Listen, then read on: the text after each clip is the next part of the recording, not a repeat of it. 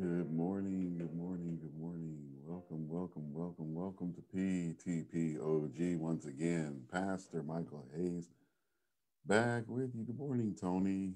Good morning, good morning, Smita. How are you? Welcome. Glad to have you with us this morning. I pray that God has been and is with you right now uh, as we continue to walk through the book of Proverbs. Welcome and have a I hope you're having a good morning, and I hope that you and pray that you have a happy day today. Listen, want to remind you that we're still having our giveaway. This is our last day for our giveaway for this incredible book, Words of Life, which is our daily devotional that we are giving away. And I will ship this to you if you do two things. I need you to, hopefully, you have a YouTube uh, account I need you to go to YouTube, our YouTube channel specifically, Practicing the Presence of God channel. I need you to leave a message on this video or any of the other videos uh, where we describe or talk about this particular giveaway. And also, please subscribe to our YouTube channel. It would really be a great thing for us, and we really need you to do that. And uh, it's an awesome book. You would love it. I think you would. It's absolutely for free. So please do that. This is our last day, and uh, this is our last chance for you to win it. So I need you to do that today if you can. So, you know, there's a lot going on in our world today. I uh, have a friend who, or, yeah, yeah, they're a friend I have a friend who uh, is or was a supporter of the current administration in the White House, and they wrote something on uh, their Facebook page. And uh, what they wrote on their Facebook page on their Facebook page was kind of in alignment uh, with uh, the current administration's view of the election and their view of the Capitol uh, riot. Uh, and Facebook not only took the post down, they took his, uh, you know, they took his his uh, whole profile away. So he right now is no longer on Facebook. I don't know if they suspended his, you know, his account or whatever, but he is no longer able to go back and forth, you know, talk or post or read or do anything on Facebook. And I say that to say this we all must be careful what we say. Now, I know a lot of people, you know, like this particular individual that I'm talking about was very upset about the fact that the president isn't able to use Twitter, Facebook, YouTube, or other, you know, that, that that's taking away free speech. The truth of the matter is, these platforms are very much uh, individual uh, companies that are ran by owners. They are not government ran. So they can, at their own leisure, decide that they don't like your content and they can take it off and they can remove you at will. They are not held to any government standard in terms of that they are held to their own company standards. And if your post or your words go against their company standards, they can utilize their company standards to take you away. And I, am saying that to say this just be concerned, just be careful about what you say, about what you write, about about the videos you do and so on and so forth. You can't just say anything, okay? Yes, you have free speech. Free speech means you and I can go out here with a bullhorn and say whatever we want to down on the steps of the capital of our particular city or, or even our nation. Uh, but you cannot just say anything, anytime, in any place you want to. It doesn't work like that. It's almost like, you know, you saying fire in the middle of a crowded theater when there is no fire, okay? You know that's not free speech you are inciting a, a, a, problem an issue and you will be more than likely held accountable for that so i just want to let you know ladies and gentlemen they're watching. They're watching. Uh, everything you do on through electronic medium is being watched, is being discussed, uh, it's being mulled over. okay, and this has been going on for years. This is nothing new. Okay, so just be careful. All right, let's look at our uh, text for the day, which is found in Proverbs chapter 30 and verses 7 through 9. Proverbs chapter 30, and we're reading verses 7 through 9. This is from the modern King James Version. It says, Proverbs 30, verses 7 through 9. Have asked, I have asked two things from you. Do not deny them before I die.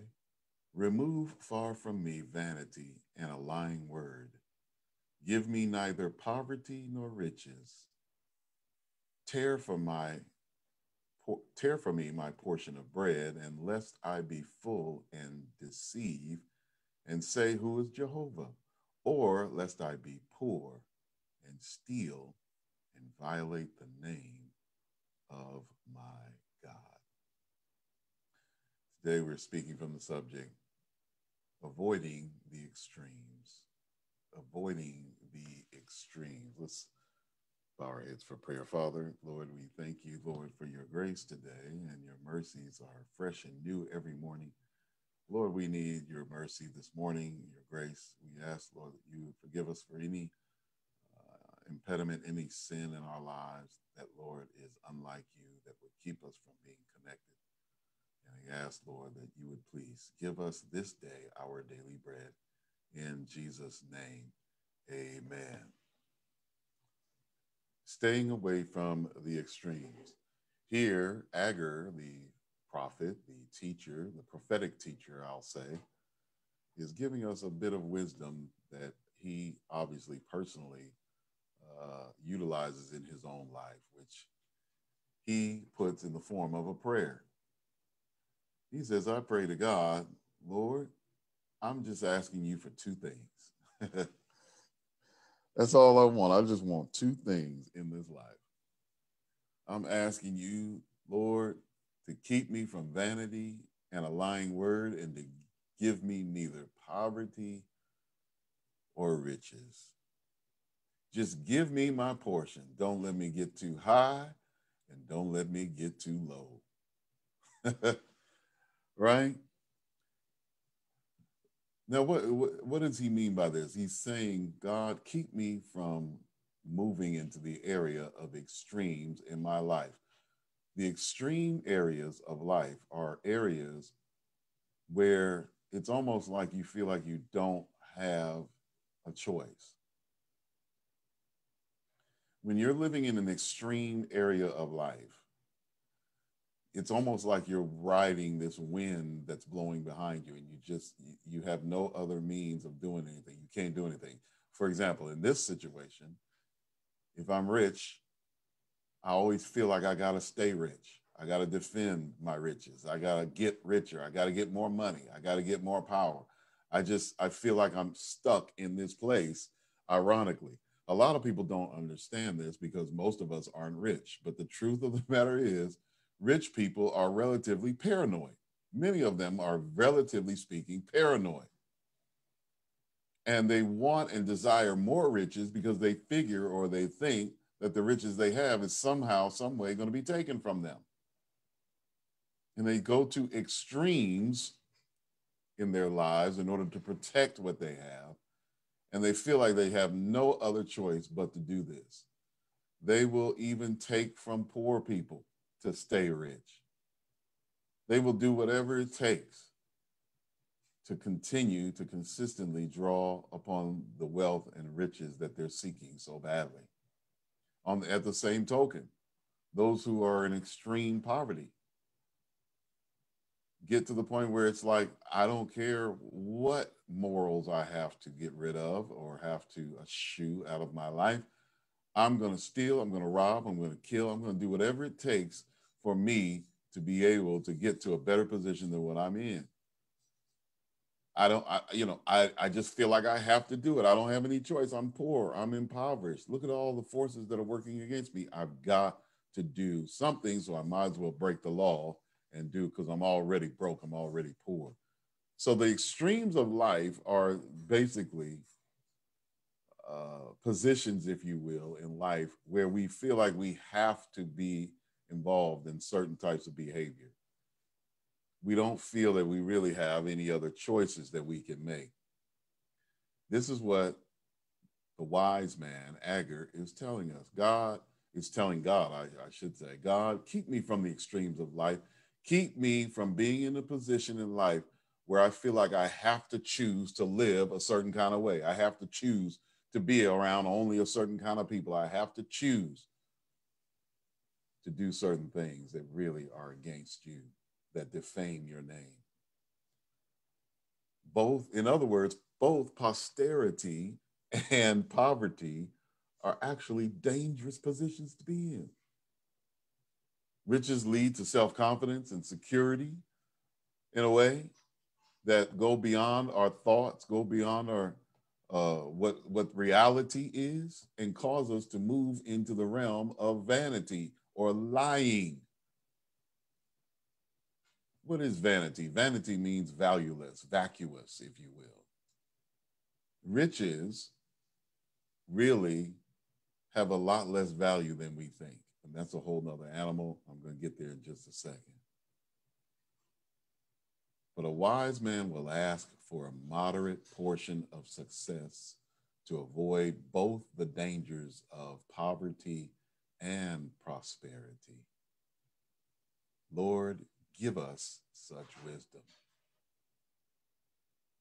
So, the first point I want to make is this the hunt for riches and wealth is often futile and deceiving. The hunt, the hunt, the the uh, what do you call that? The addiction, if you will, of seeking after riches, fortune, and fame, wealth, okay, can often be a very vacuous, empty, futile, and certainly a deceiving experience. Because why is that? Why is that? Why do you say that, Pastor? I say that because a lot of people think, well, soon when I get rich, everything's going to be straight. Everything's going to be great. Everything's going to be wonderful. everything's going to be awesome. Everything's going to be fine. No, it's not. No, it's not. No, it's not. No, it's not. No, it's not. You're going to have a whole lot more responsibilities than you ever dreamed or imagined because now you have the power to do things you never even thought you could ever or would ever do. Being rich is not all it's cracked up to be, being so called rich. It's not all it's cracked up to be. You've got a lot more decisions that you have to make. You got a lot more responsibility that are laid at your feet. And you'll come to find out that being rich, as I said, it's not all it's not as valuable as you might have earnestly thought. You know, a lot of people think, well, when I get rich, I'm just gonna sit back, relax, and you know, get an umbrella and sleep all day and you know, rest all night in Hawaii's beach on Hawaii's beaches or something. It doesn't work like that it doesn't work like that. And it's funny because Americans, this is this is this is a funny thing. Americans really all they do is work so that they can go rest. Have you ever noticed that? Vacation is what we call it. We're working to rest. you know, and rich people, you know, they really can't rest. They like to rest, but they can't because they got to figure out how to keep all this stuff that they've collected, all this money that they have. They got to figure out how to keep it secure. They got to figure out if there anybody trying to steal from me? Is there anybody trying to rob from me? How can I make more riches? How can I make more money? So that if anything happens to this money, I'll, I'll have another place, stashed. how can I do? And then you got to think about, well, uh, people want you to be on board with stuff because now that you're rich, people are asking you for money. People are asking you, can you support us? Can you support that? So you have to understand and come to some understanding of who are the people that I really support? Do I really, really want to back this situation or that situation? I mean, it's just, it's the responsibilities are endless when you're rich. People want you to speak out because you're rich. They want you to say something. They want you to do something. They want you, you know what I mean? It's really far and way and above and beyond what a lot of people think. And honestly, riches can be very, very empty. They don't give you back what you dream and imagine you would think they would. Some of us think that riches are safety. Some of us think riches are God. Here's what Proverbs 23, verses 4 and 5 says God's word version of the Bible. Do not wear yourself out getting rich. Be smart enough to stop. Hmm. Will you catch only a fleeting glimpse of wealth before it's gone? It makes wings for itself like an eagle flying into the sky. These riches that many people accumulate, and they know this. This is why I say what I say in terms of them seeking security to keep the stuff that they get, because they know as quickly as money can be made, it can be easily taken away. Everybody knows that. Everybody knows that. That's why the rich constantly want to keep getting richer.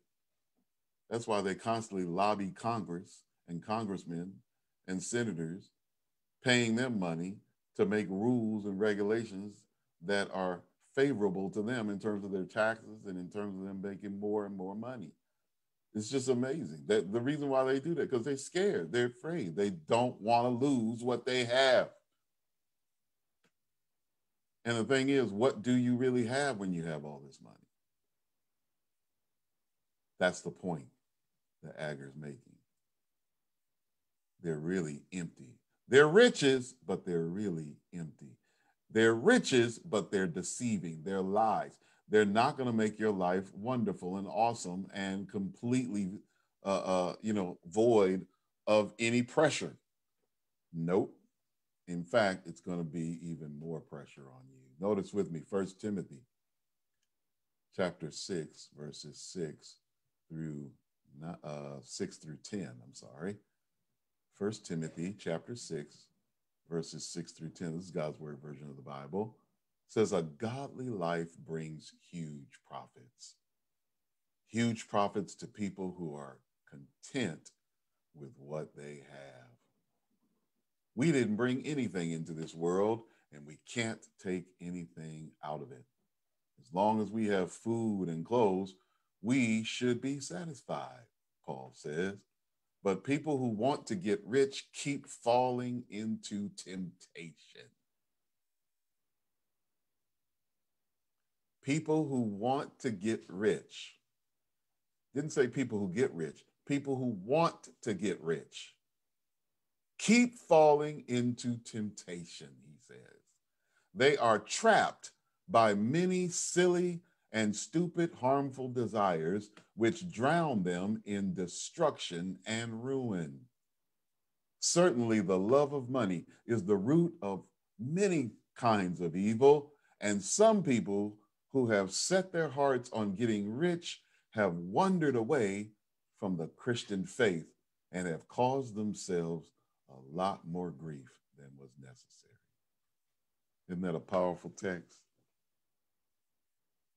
The desire to be rich, just seeking to get rich, just doing everything I can to be rich, it can lead to a lot of temptations that we fall into because we're focused on getting rich as opposed to focusing on becoming like God.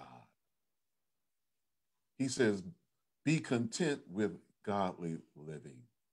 That's what Paul says. Be content with what God provides. Be content doing God's will and be blessed. Matthew chapter 6, verse 24 tells us something very, very clear. Nobody can serve two masters. He will hate the first master and love the second, or he will be devoted to the first and despise the second. You cannot serve God and wealth. Mm. Now, ladies and gentlemen, Jesus speaks to it in terms of God and wealth, but I'm going to speak to it in terms of God and anything. You cannot serve God and something else at the same time. You cannot serve two masters. Somebody say amen. You cannot serve God and put him first in your life and then put somebody else up there with him. It doesn't work like that. Because one of them you're going to love and the other one you're going to hate with a passion. Ladies and gentlemen, I see that happening today. I'm gonna I'm not gonna make reference to what it is, but many of you know what I'm talking about. There are many who have created an idol out of people and put that idol in place of God in their lives. They no longer are following God, they're following people. And the things that people say. They have the words of people in their mouth, not the words of God in their mouth. They've got the words of people. They listening to what people say. Lord have mercy. Don't put people up on a pedestal. I don't care who they are. I don't care if they're an athlete. I don't care if they're uh, a congressman. I don't care if they're a president. I don't care if they're a king. I don't care if they're a pauper. I don't care who they are. You don't put anybody in the place of God in your life. I don't care who they are. Ladies and gentlemen, secondly, God calls us to be thankful for what he has provided. This will keep us away from the temptations of poverty.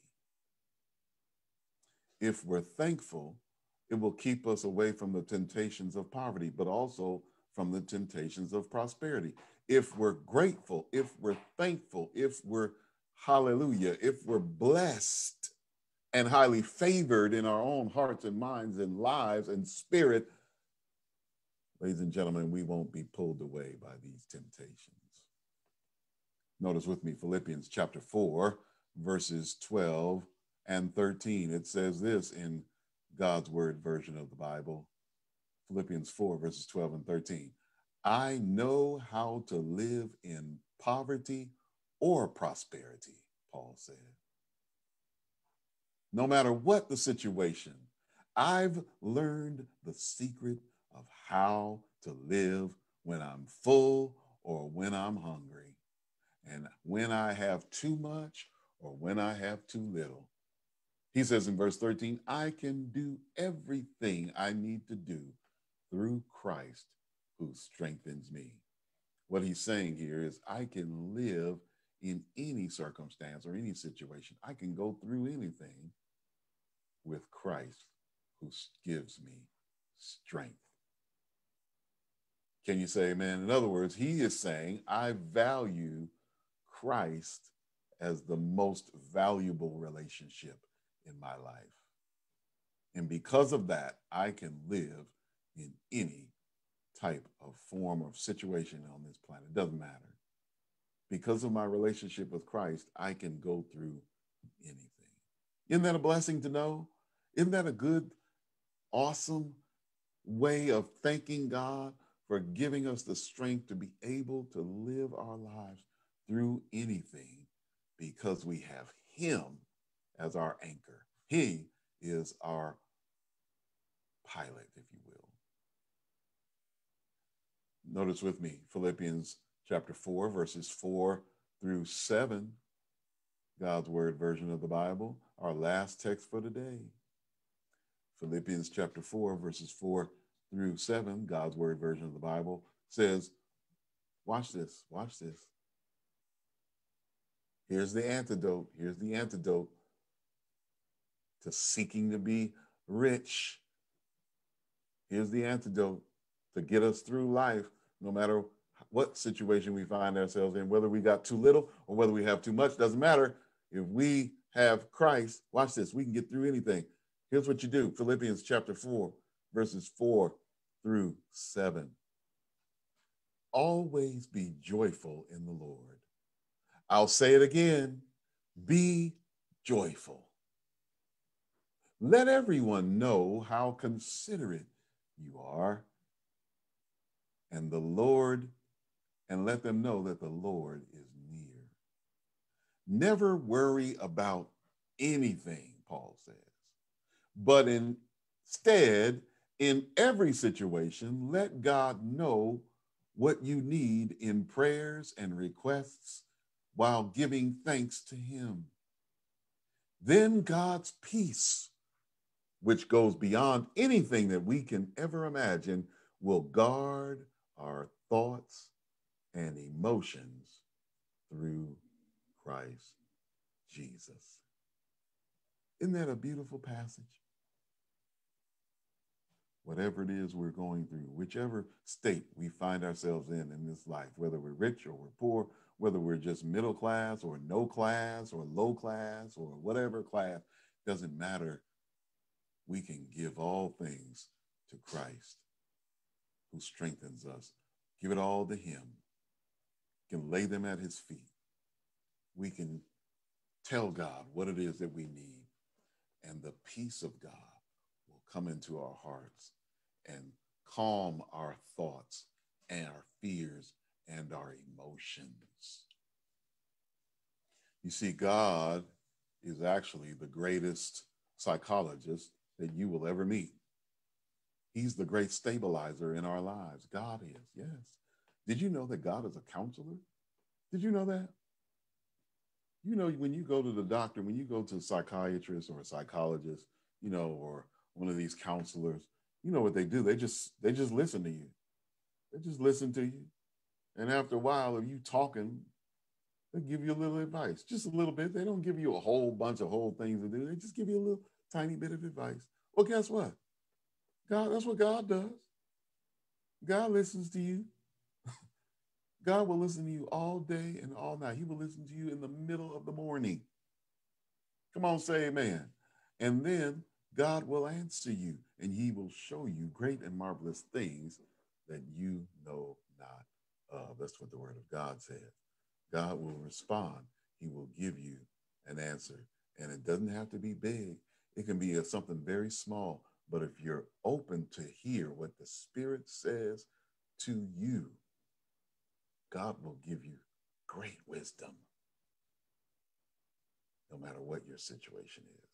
But the point being is this God is always there. You don't have to pay him, you don't have to call him up and say, hey, listen, Doc, uh, uh, can I see you at nine o'clock on Wednesday? Well, I got a I got a Wednesday afternoon meeting. I, I can't meet with you, Mike. Uh, Let's try two weeks from today. So you don't have to go through that with God. Come on, say amen. God is ready and available 24 hours a day. There used to be a song, there used to be a song we used to sing when we were young, long time ago in our church. No, tell him what you want. Call him up, call him up, tell him what you want. Call him up, call him up, Tell him what you want. You just call him up and tell him what you want. You all remember that song? If you're sick and can't get well, tell him what you want. I used to love that song. I used to love that song. We sang it all the time. People thought it got old. And now I love that song. I loved it then. I still love it because it's true. All you have to do is give God a call. And tell him what you want. Tell him what you need. Tell him what you don't need. Just talk to him. Have a good time with him and allow the Spirit of the Lord to send his peace into your heart, to calm your thoughts, and to bless and calm your fears. God be with you today. Will you trust in the Lord today? Will you ask God, Lord, don't make me too rich, don't make me too poor, but God, bless me to learn to trust in you. Let's pray. Father in heaven, thank you for your blessings. Thank you for your love, your kindness towards us. Lord, keep us away from the extremes of life. Lord, keep us balanced in you. We thank you so much for your love towards us. You're such a blessing. Give us your grace today. In Jesus' name. Amen. Amen. Praise the Lord. Listen, God be with you. God bless you today. If you have been blessed, please like this and share this on your Facebook page. And if you haven't already subscribed to our Facebook group, hashtag PTPOG or practicing the presence of God. Listen, we still got this giveaway going. Still got this giveaway going. Words of Life daily devotional. You're going to love it. You're going to love it. I want you to have it. You know what you need to do. You need to go to our YouTube channel, Practicing the Presence of God YouTube channel, hashtag PTPOG YouTube channel, and subscribe to that channel. And please leave a brief comment below one of these videos. I'm going to pick a winner. I'll probably uh, declare it either tomorrow or Sunday. I may do it tomorrow, but we'll see what happens, maybe in the morning, okay? so I need you to do that today. If you don't have a YouTube channel, you probably need to get one. You don't have to do a whole lot, just sign up uh, on YouTube. It's not a big deal, okay? Listen, God be with you. God bless you. I love you. Take care, guys. Have a good one.